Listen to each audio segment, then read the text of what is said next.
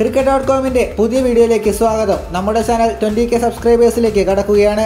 Video ആദ്യമായിട്ട് കാണുന്നവർ channel subscribe ചെയ്ത് തൊട്ടടുത്തുള്ള ബെൽ ബട്ടൺ ഓൺ ചെയ്യാൻ മറക്കരുത്. ശ്രീലങ്കയ്ക്കെതിരായ ആദ്യ ടെസ്റ്റിന്റെ ഒന്നാം ഇന്നിംഗ്സിൽ ഇന്ത്യൻ ഓൾറൗണ്ടർ രവീന്ദ്ര ജഡേജ വ്യക്തിഗത സ്കോർ നൂറ്റി എഴുപത്തഞ്ച് നിൽക്ക് ഇന്നിംഗ്സ് ടീം ഇന്ത്യ ഡിക്ലെയർ ചെയ്തത് വലിയ വിവാദമായി തീർന്നല്ലോ. എന്നാൽ ഈ വിവാദത്തിന് വഴിത്തിരിവ് സംഭവിച്ചിരിക്കുകയാണ്.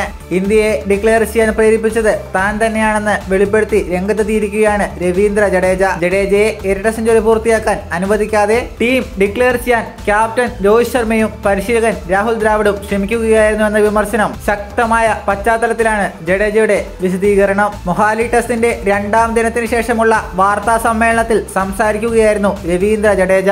ഇരട്ട സെഞ്ചുറി നോട്ടമിട്ടു. അതിനുശേഷം ഡിക്ലെയർ ചെയ്യാമെന്നൊരു സന്ദേശം കുൽദീപ് യാദവിലൂടെ രോഹിത് ശർമ്മ അറിയിച്ചു. എന്നാൽ ആ നിർദ്ദേശത്തെ ഞാൻ എതിർത്തു. തളർന്നിരിക്കുന്ന ലങ്കൻ ബാറ്റർമാരെ ചായയ്ക്ക് മുൻപ് ബാറ്റിംഗിന് അയച്ചാൽ വേഗം വിക്കറ്റുകൾ ലഭിച്ചേക്കാം എന്ന് ഞാൻ പറഞ്ഞു. ജഡേജ വ്യക്തമാക്കി. മൊഹാലിയിൽ ജഡേജ നൂറ്റി എഴുപത്തിയഞ്ച് റൺസ് നിൽക്കെ ഇന്ത്യൻ ടീം ഡിക്ലെയർ ചെയ്യുകയായിരുന്നു. ഈ സമയം അഞ്ഞൂറ്റി എഴുപത്തിനാല് റൺസിന് എട്ട് വിക്കറ്റ് എന്ന സ്കോറിലായിരുന്നു ഇന്ത്യ. രവീന്ദ്ര ജഡേജ നൂറ്റി എഴുപത്തഞ്ചും മുഹമ്മദ് ഷമി ഇരുപതും റൺസുമായിട്ടാണ് ക്രീസിലുണ്ടായിരുന്നത്. പിന്നാലെ രോഹിത്തിനെയും ദ്രാവിഡിനെയും കടന്നാക്രമിച്ച് നിരവധി പേർ സമൂഹ മാധ്യമങ്ങളിൽ രംഗത്തെത്തുകയുണ്ടായി. ഇതുപോലുള്ള പുതിയ വാർത്തകൾക്കായി ചാനൽ ഇപ്പോൾ തന്നെ മറക്കാതെ സബ്സ്ക്രൈബ് ചെയ്ത് വെക്കുക.